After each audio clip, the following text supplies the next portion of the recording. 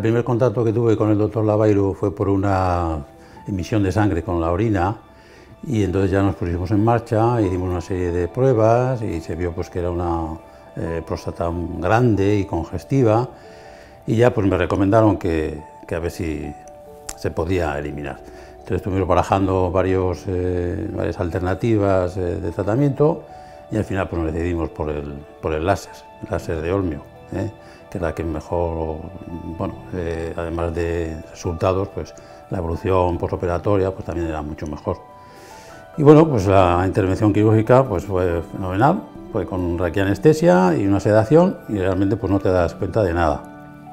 Luego dos días de ingreso en, el hospital y, durante esos dos días de ingreso sondado para hacer la limpieza de, de, la vejiga, para eliminar todos los restos de sangre y al tercer día pues ya se eliminó la sonda y oriné por mis propios medios. Pues, pero es cuando noté bastante escozor, ¿eh? o sea, decir, la única molestia realmente importante fue la primera orina que hice después de la intervención.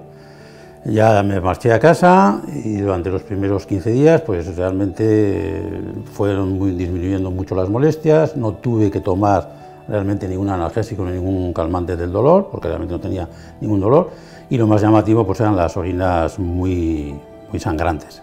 Eso es lo que más llama la atención y lo que te asusta un poco. Y realmente pues esas hemorragias fueron desapareciendo poco a poco y al, al decimoquinto día, después de la intervención, prácticamente desaparecieron del todo. Y realmente hoy día, que son dos meses y medio después de la, de la operación, pues me encuentro muchísimo mejor que antes de la intervención.